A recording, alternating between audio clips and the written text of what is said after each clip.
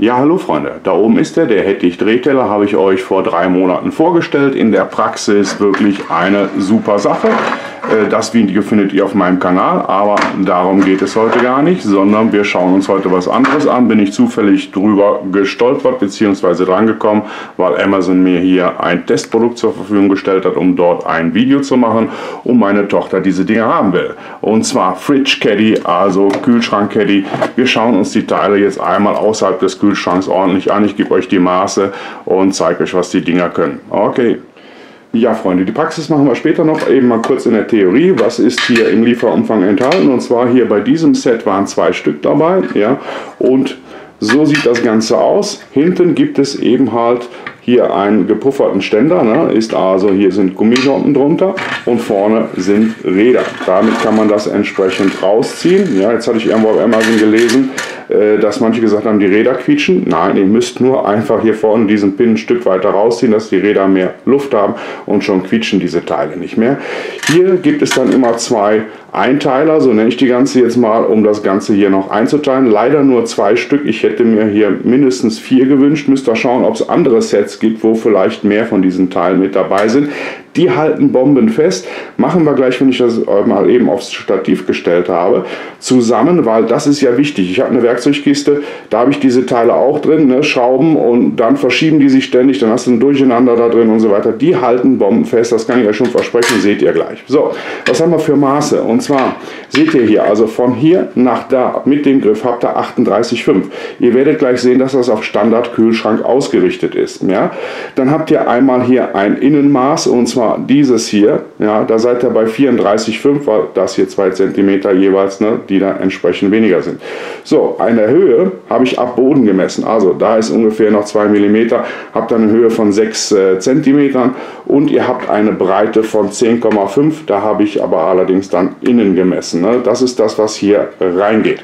So, jetzt machen wir mal diese Teile rein, da werdet ihr sehen, dass die super straff sitzen.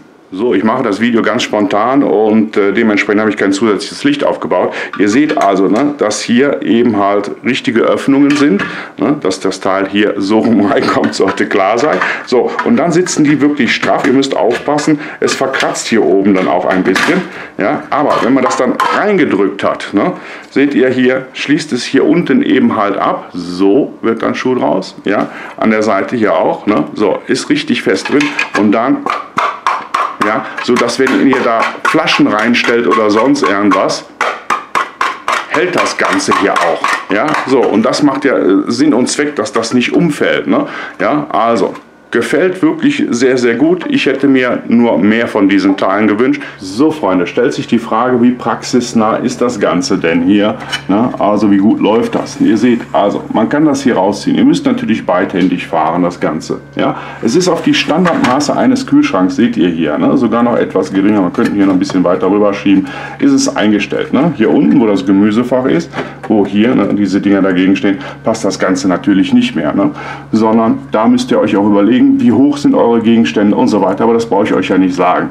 Dafür seid ihr schlau genug. So, ich will nur das Produkt vorstellen und dann seht ihr bis hierhin Kante, ne, habt ihr geht das Ganze wunderbar. Man muss es dann zweihändig fahren.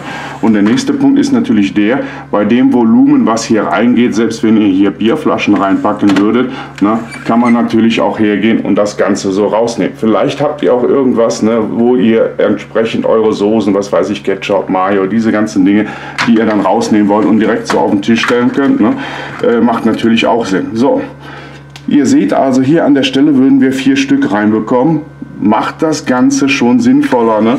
Vor allen Dingen äh, schaut ihr auch immer so, wenn ihr mal was rauszieht, so was ist da hinten und äh, ne, vergesst nicht irgendwas. Ne? So wie sowas hier, ne? wir schreiben das immer groß drauf, 2,23.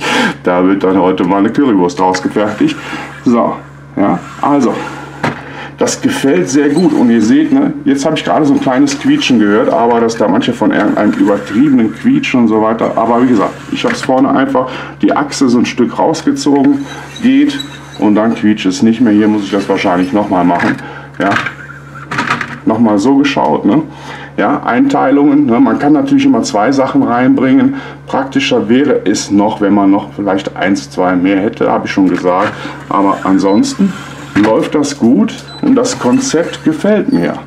Ja, weil Ich arbeite jetzt halt ne, eine Handkamera einhändig und ihr seht, ne, hier haben wir immer dadurch, dass da unten die Räder gummiert sind, einen leichten Stopp. Ja, stoppt nichts automatisch, also nicht zu energisch ziehen, aber es läuft. Also absolut ein sinnvolles Produkt. Ne? Hier würde man jetzt hergehen, zum Beispiel könnte man hergehen, das Ganze einen höher stellen, ne, dass man das dann auch äh, äh, anders darstellen kann und so weiter. Ihr seht, ich habe jetzt hier oben äh, die eine Glasablage rausgenommen, ja, aber praxistauglich ist das Ganze und Sinn macht das hier auf jeden Fall auch. Ich denke mal, die Userin, meine Tochter, wird sich darüber freuen, weil die noch keinen Hettich Comfort Spin Drehteller hat. Okay Leute, alles Gute, bleibt gesund und tschüss.